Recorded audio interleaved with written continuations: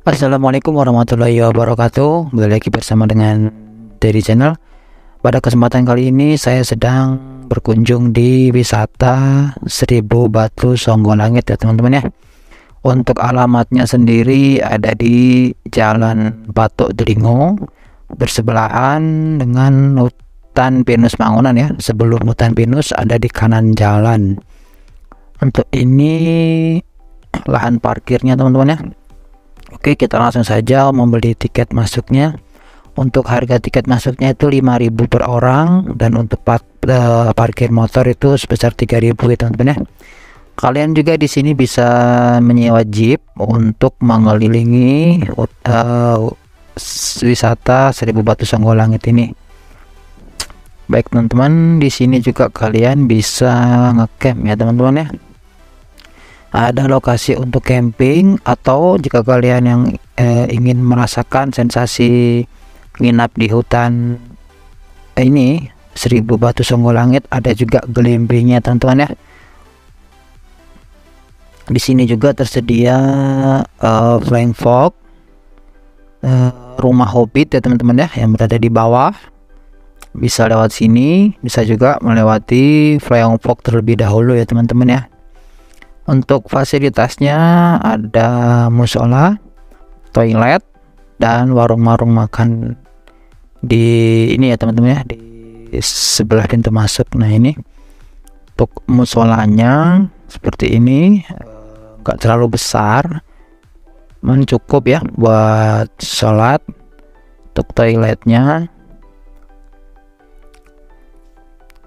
Baik teman-teman, kita langsung saja mencoba atau merasakan sensasi naik flying fox ya teman-teman ya. Untuk menuju ke bawah melihat uh, rumah hobbit yang ada di bawah sana. Untuk tiket mas uh, tiket apa? Naik flying fox itu sebesar 20.000 per orangnya. Kalian bisa uh, membeli tiketnya itu langsung di lokasi flying fox atau jika kalian tidak membawa uang cash atau via transfer kris itu kalian bisa membelinya di loket tadi teman-teman ya. Jadi tidak perlu khawatir jika kalian tidak membawa uang cash. Nah ini sebelum meluncur persiapan dulu ya teman-teman ya. Masang peralatannya pakai helm untuk safety ya pasang helm segala macam kita langsung meluncur ke bawah.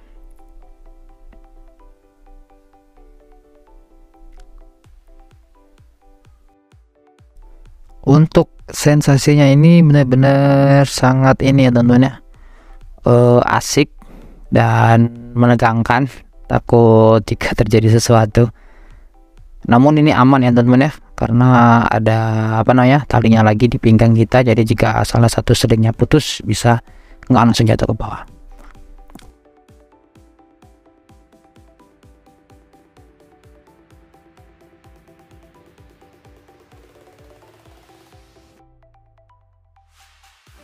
Oke teman-teman kita udah nyampe bawah kita langsung menuju ke sini dulu teman-teman ya ini ada panggung seninya sama seperti yang ada di hutan pinus. Cuman ini enggak sebesar yang ada di hutan pinus ya. Kalau di hutan pinus itu mengelilingi tempat duduknya. Sedangkan yang di seribu batu sanggul langit itu hanya seper tiga atau seperempat nih ya uh, untuk kursinya.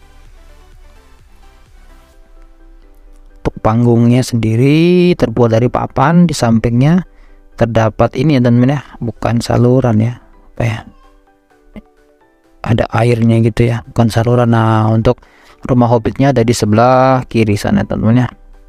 Oke kita langsung menuju ke rumah hobbitnya.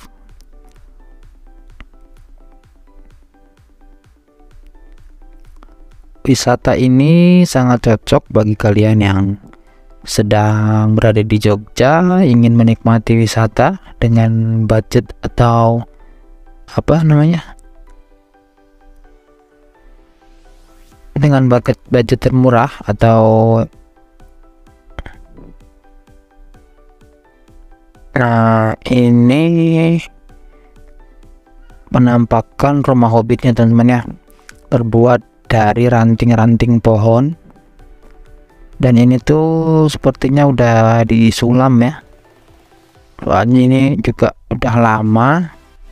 Dan kena panas kena hujan pastinya rapuh juga teman-teman ya. Untuk kondisi dalamnya ini nggak begitu luas.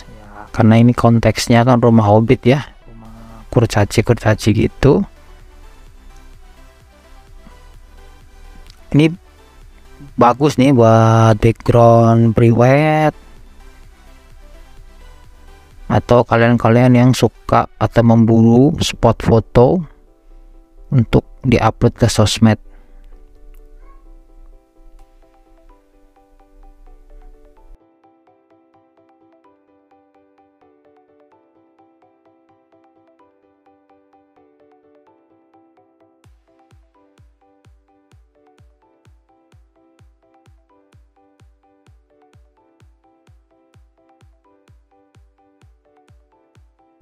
ini ada juga pelataran yang terbuat atau disusun dari batu-batu kerikil. Bukan kerikil teman-teman kerikil kecil ya. Ini batu-batu ya. Dan membentuk seperti panggung seni. Di sampingnya juga ada rumah hobbit yang kecil ya. Untuk rumah hobbitnya itu ada dua ya di samping kanan dan kiri nah tadi yang dari full dari ranting nah nanti yang di sebelah ada nih yang di sebelah batu ini. Nah ini juga udah mulai terlihat. Ada juga taman-tamannya di sini. Ada kursi buat duduk. Nah ini yang tadi tentunya kita langsung mengunjungi ke rumah hobbit yang kedua ya teman-teman ya. Kita melewati uh, ini antara bebatuan besar.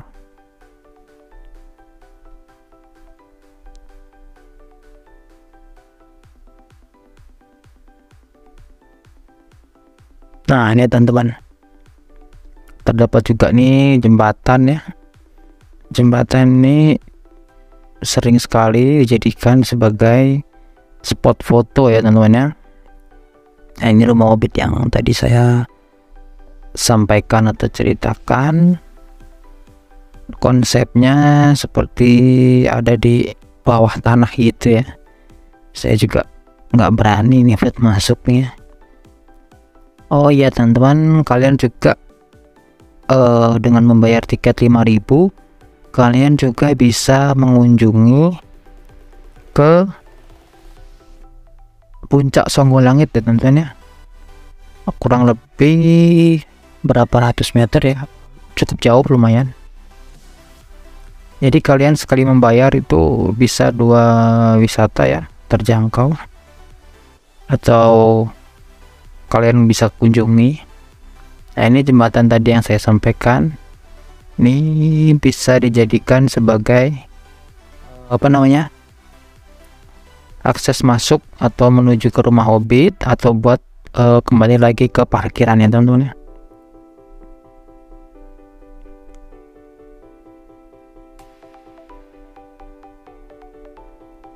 Untuk jembatannya ini cukup panjang bagus juga jadikan spot foto.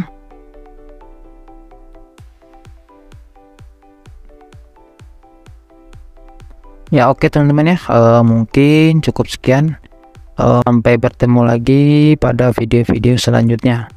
Wassalamualaikum warahmatullahi wabarakatuh